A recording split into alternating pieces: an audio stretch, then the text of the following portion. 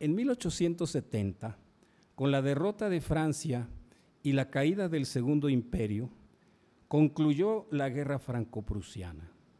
Ese mismo año, en Roma, después del retiro de las tropas francesas que sostenían la frágil soberanía del Papa Pío IX, se suspendió de manera indefinida el Concilio Vaticano I y se consumó la unidad italiana.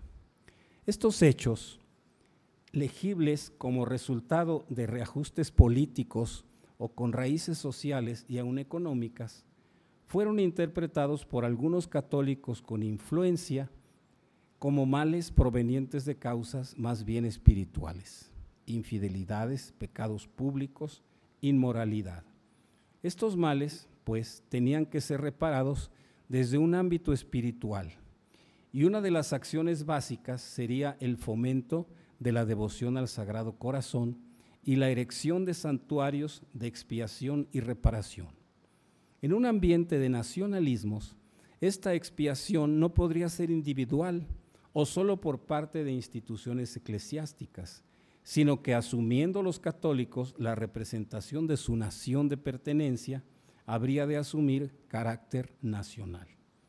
De esta manera, la iniciativa de los laicos miembros de las obras de San Vicente condujo a un voto nacional francés, construir en la colina de Montmartre, en París, un santuario expiatorio al corazón de Jesús.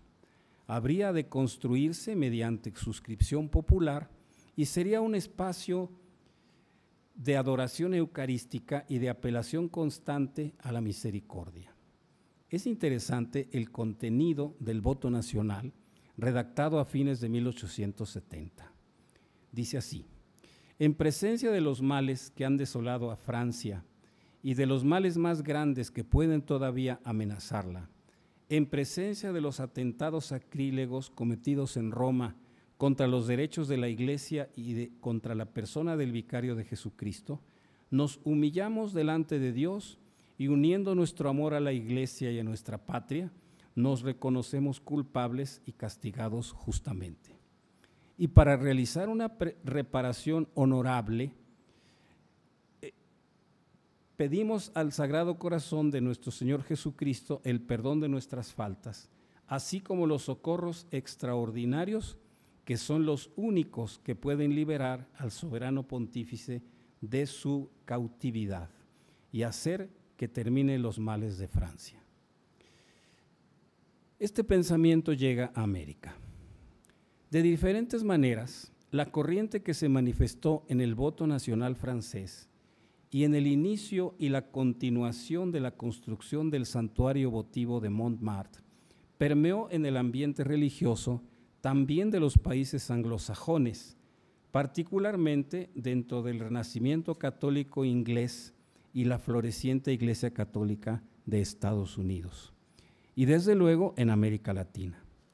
A este movimiento generalizado se le conoce como ultramontanismo, palabra que en su lectura lineal indica más allá de los montes, o sea, del otro lado de los Alpes, para contrastar el embate a la soberanía temporal del Papa en la península itálica con la adhesión de los católicos de los países ultramontanos, más allá de los montes y del Atlántico.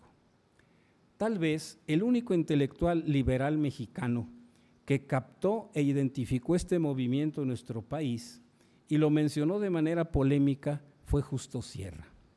En dos artículos en el periódico La Libertad, del 26 de enero y del 7 de febrero de 1878, asumió frente a una insistencia católica manifestada en el terreno de la educación y de la cultura, la consideración del abismo que él veía entre la ciencia y el dogma. Y más adelante escribió esto.